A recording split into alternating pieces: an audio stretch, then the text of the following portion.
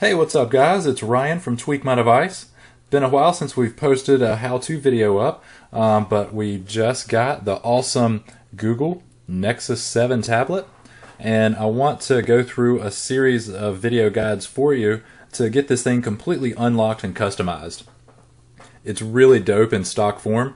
Um, the benchmark tests that I've run and just playing with it for a little while um, have shown it to be very impressive. Um, it's going to be an awesome, awesome device for a lot of things.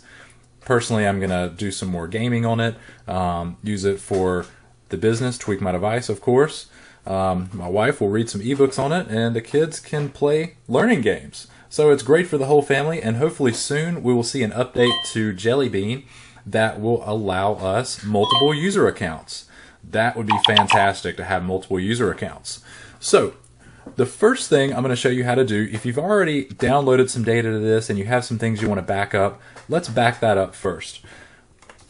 For example, I want to back up GTA 3, Grand Theft Auto. And if you haven't played that game, I highly recommend it. It's a lot of fun. Just go ahead and plug in your USB cable. And what's going to happen, this is going to connect as a media transfer protocol device.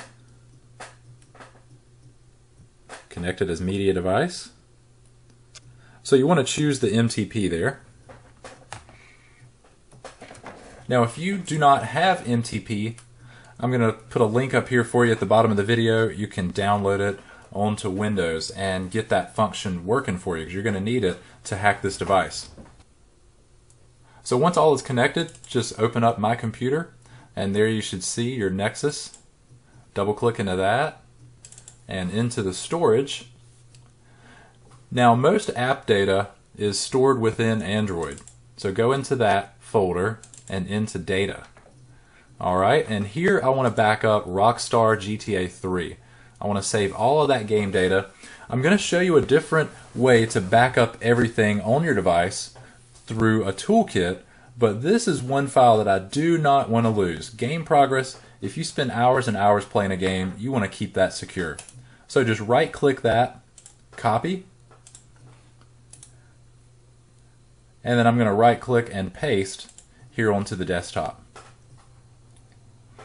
This is going to be a pretty big file transfer. There's a lot of data in there, but I do want to grab everything just to be safe. Like we did for Rockstar, you would continue to back up anything that you've installed uh, game-wise and save that in a safe place. Save it in multiple places and back it up regularly because you never know when your device is going to crash, especially if you tweak it and hack it a lot.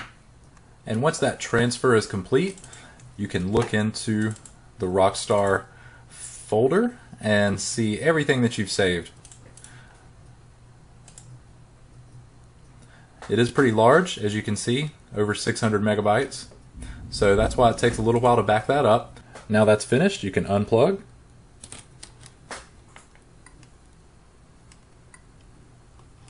And go back to playing Grand Theft Auto.